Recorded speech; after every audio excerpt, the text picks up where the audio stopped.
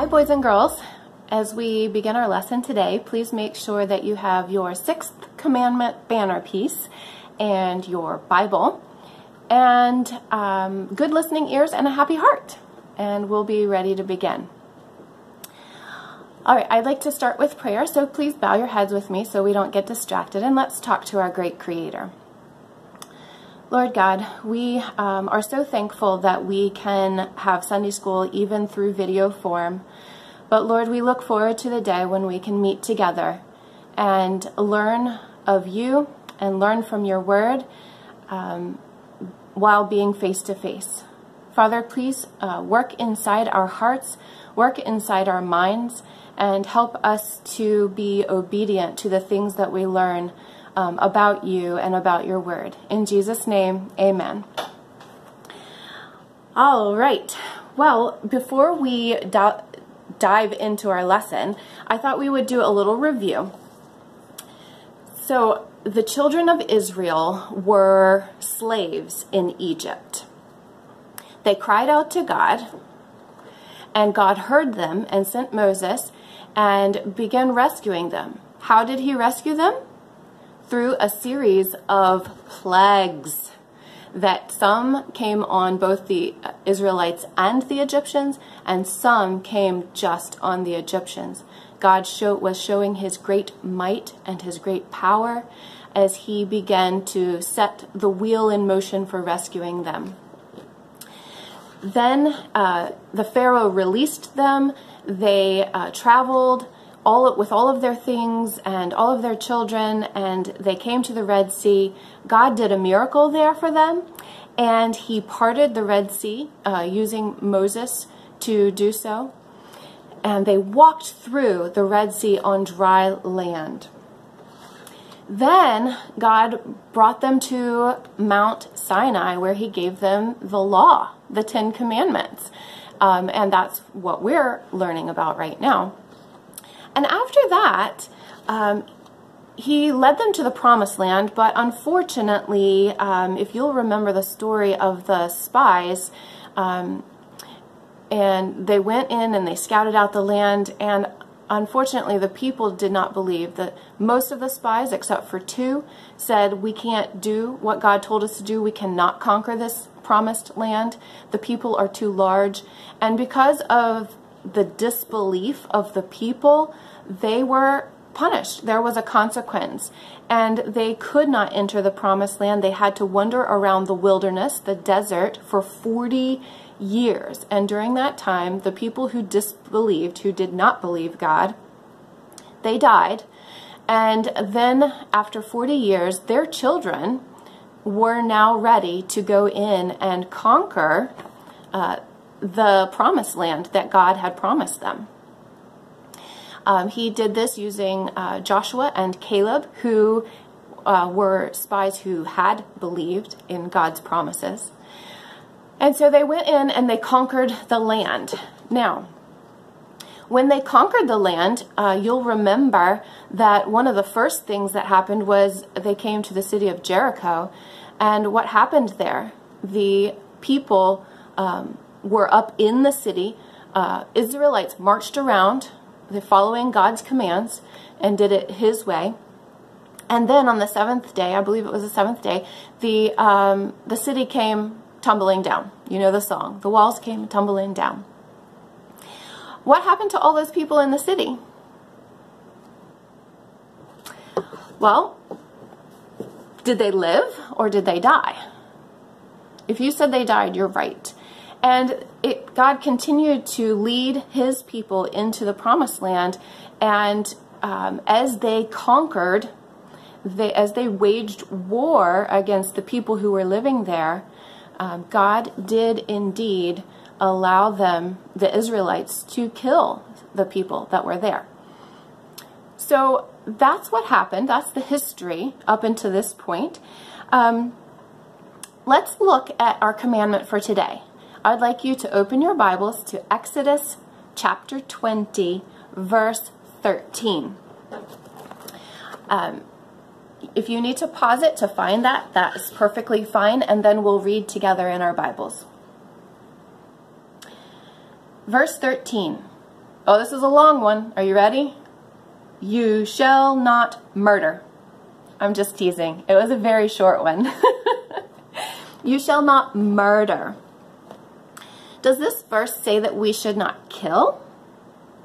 Think about that for a minute. No, it doesn't say we should not kill. It says you shall not murder. What's the difference? Well, murder is killing some somebody illegally. It's purposing in your mind. It's thinking in your mind. That's what I want to do. I want to end their life. They need to die. And you're doing it on purpose. It's not in self-defense. It's not protecting anyone. It's with evil in your mind. That is what murder is. We also call murder unlawful killing. That's kind of a big word, but it just means it's not allowed by law. when God told the Israelites to go into the promised land and kill the people of the prom that were already living there, God was using this to punish the wicked people that were living there um, through war on them. And he was not telling his people to break the sixth commandment. Um, sometimes there are wars, um, like World War II, when Hitler was killing all uh, the Jews and trying to have this certain type of person that would survive. Um, and the Americans came in and some other nations came in and fought against Hitler. They were actually protecting the lives of the Jewish people. They were not going in to murder, they were going in to protect, and in doing that protection, they did have to kill at times. All right, right now I would like for you to pause the video and put your sixth commandment banner piece on your banner.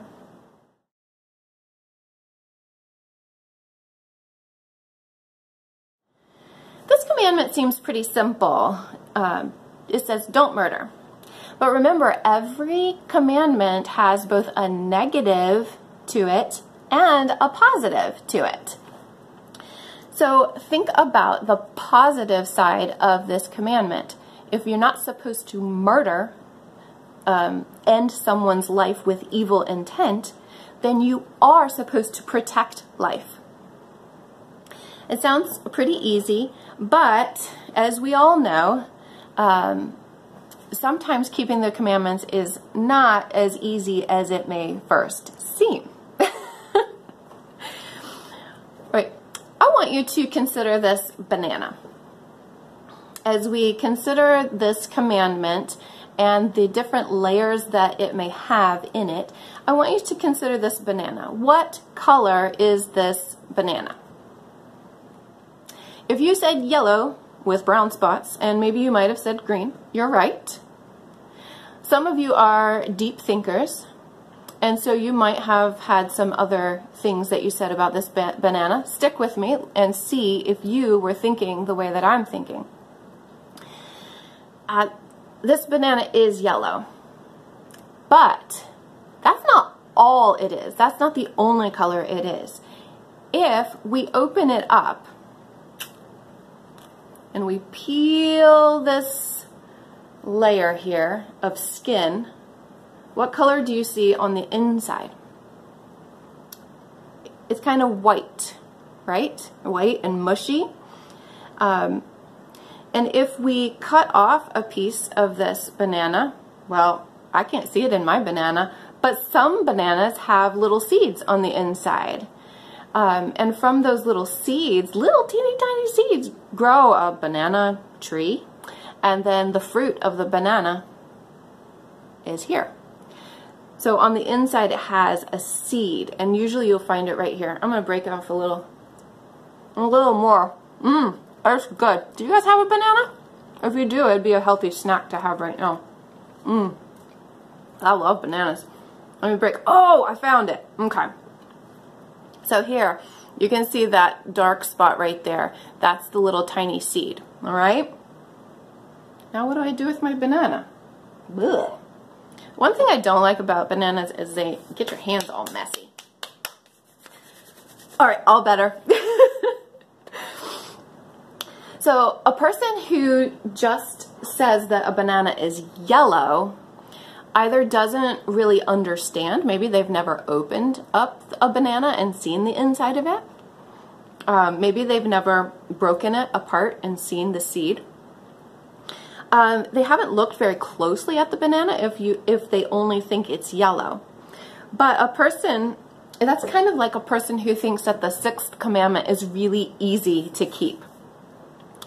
Um, that just means that um, we've only ever heard the one line, you shall not murder.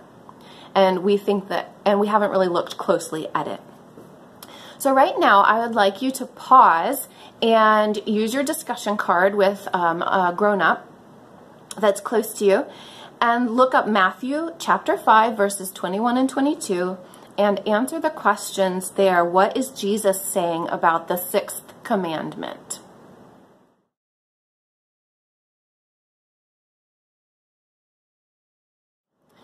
So you can see from reading that scripture that Jesus is not just talking about wrong actions, but he's also talking about wrong attitudes. And where does a wrong attitude start? Well, I know I'm not the only one who's had a bad attitude. that attitude starts in our minds. And so Jesus is um, saying, calling us to to really uh, think hard, like what is going on in my mind? Um, sometimes we can have anger. Uh, something happens like um, a brother or a sister takes uh, something that's very special to you and they don't return it. Well, goodness, that makes us angry or we feel angry because that happened. And uh, and sometimes they don't even come and ask forgiveness and we just stay angry and maybe we don't feel like mom and dad um, handled it the way we wanted them to handle it and we just get angrier and angrier and angrier. And then we let that anger build. And pretty soon our brother or sister comes along that same one that took that special toy from us and we see our opportunity. We stick our foot out and we trip them and they fall and they hurt themselves and that anger has turned to bitterness, which then turned into an action where we hurt another person. And Jesus is saying here that um, we need to take very careful look at our thoughts because from our our thoughts and from our words, that's what's going on deep inside of our hearts, deep inside of who we really are. And if we don't take control of those, then something worse could happen, like murder. Now, I want to show you uh, that this happened really uh, in uh, the Bible. So turn with me to Genesis chapter 4, and we're going to look, start looking at verse um, 3. Now Adam and Eve had two sons. One was named Cain and the other was named Abel. And this is what happened. Follow along with me. So it came about in the course of time that Cain brought an offering to the Lord of the fruit of the ground. That means he um, was kind of like a gardener and he harvested some of his fruit and he brought it as an offering. Abel, on his part, also brought the first of his flock he was more of a shepherd, and he brought the fat portions, and the Lord looked on Abel's offering with good regard. That means he was pleased with Abel's offering. But for Cain and his offering, he was not pleased. So Cain became angry, and his face fell. You know what it looks like when we're angry about something.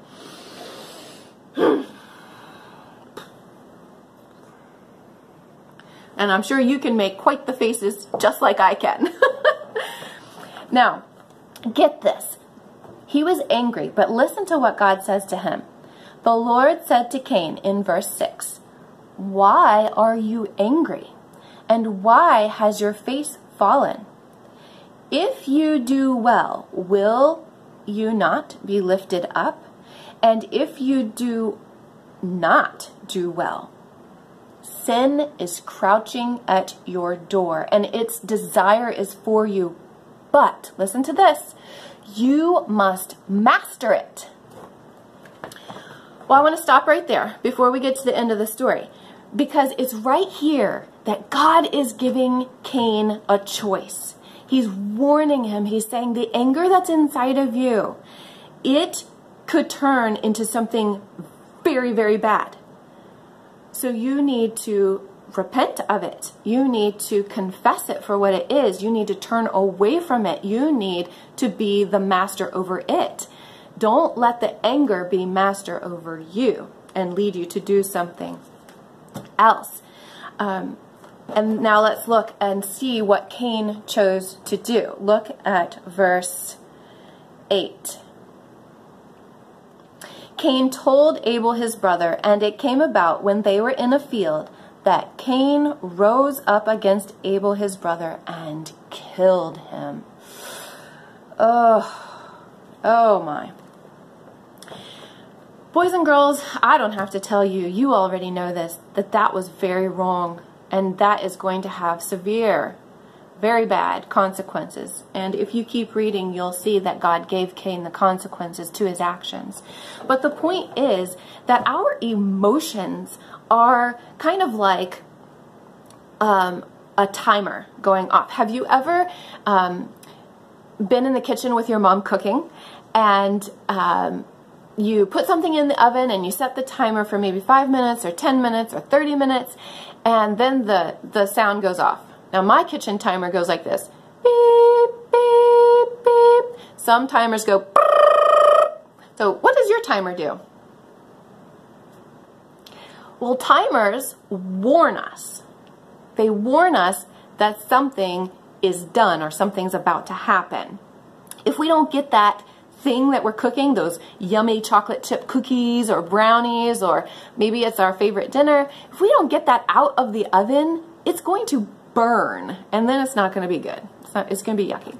So our emotions, the anger, the resentment, the bitterness, the jealousy. Have you ever felt jealous? You wanted what someone else had? Um, sometimes we feel hate. Sometimes we want to get back at somebody. Um, that's called revenge. All of those feelings are a timer going off going beep. Watch out. Repent of this. Go to God. Ask for help. Because if you don't, you're going to do something that is going to be very sinful. It's a warning to us. All right. I want you to pause and discuss with your grown-up James chapter 4, verses 1 through 4, and I want you to discuss why we break the Ten Commandments.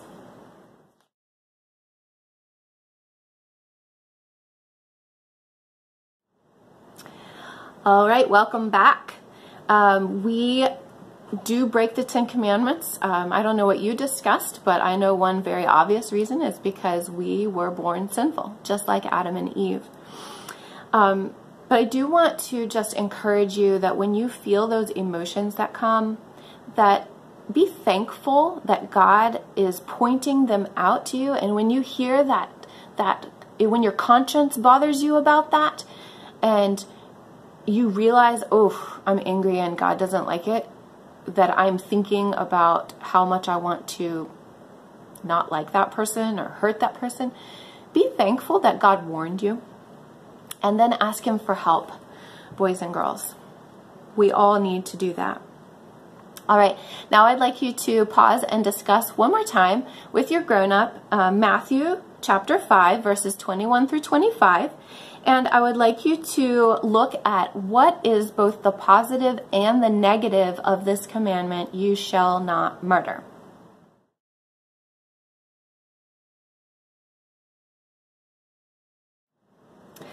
All right. Well, hopefully that uh, you discussed um, some positives of this command.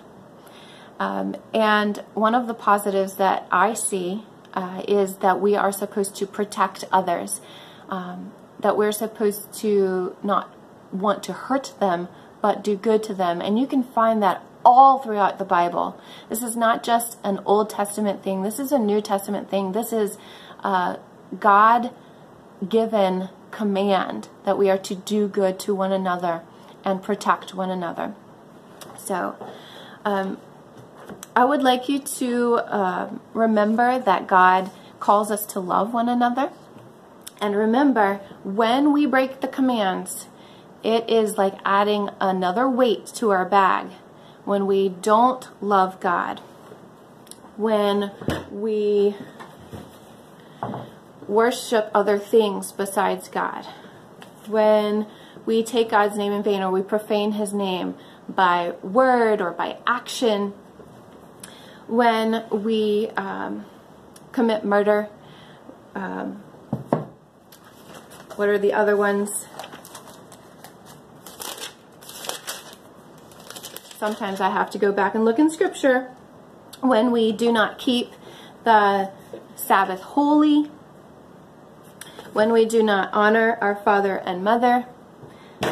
Okay, let's, it adds weights to this bag that we're carrying and oh my goodness, it's getting really heavy. Can you imagine carrying this around all the time? Oh, it would be very tiring. So just remember, boys and girls, that God has not given us his commands to be a burden um, necessarily, but when we break them, it becomes a burden to us a burden that we cannot uh, lift on our own, a burden that needs someone to come and take that burden from us, and that someone is Jesus. And we will continue to talk about that as the weeks go on, um, but I want you to keep that in your mind that the weight of sin can only be lifted by Jesus. I love you all, and I look forward to seeing you soon. Bye bye.